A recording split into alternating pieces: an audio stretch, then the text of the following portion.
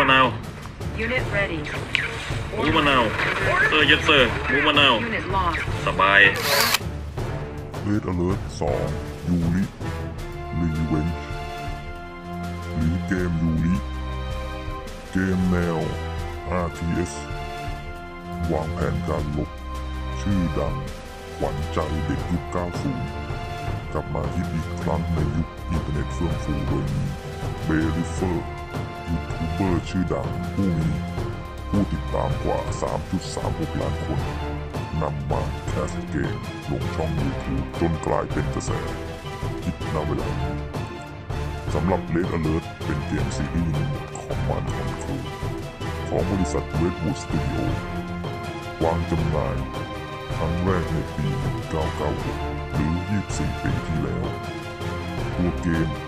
ออกแบบอ้างอิงเนื้อหาก่อนสงครามโลกครั้งที่สอง โดยมีชาติเข้าร่วมทั้งฝ่ายอักษรสัมพันธมิตรโซเวียต และกองทัพยูริที่เพิ่มเข้ามาพร้อมอาวุธเหนือชั้นอย่างการสะกดจิต ให้ครีเอทวางแผนการลบเหนือจินตนาการ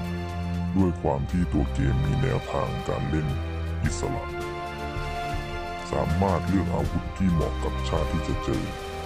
หรือ create รูปแบบการลบเฉพาะตัวทำให้แทบจะไม่มีแผนตายตัวในการเอาชนะคู่แข่ง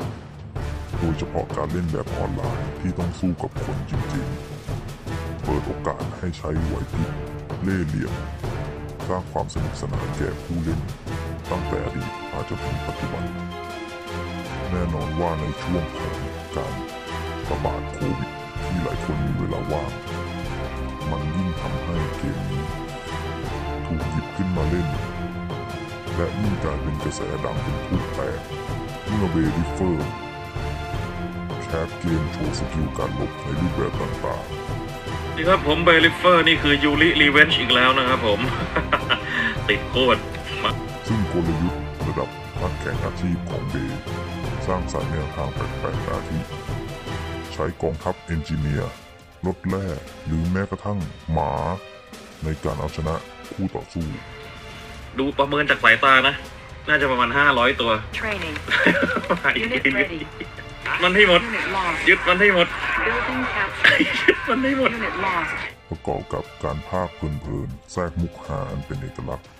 ยิ่งทำให้ยอดวิวพุ่งกระฉูด ส่งให้เกม Red Alert 2 หรือเกมยูริ